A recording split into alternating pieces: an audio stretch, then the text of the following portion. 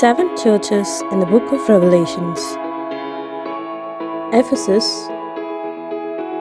Smyrna, Pergamos, Thyatira, Sardis, Philadelphia, Laodicea.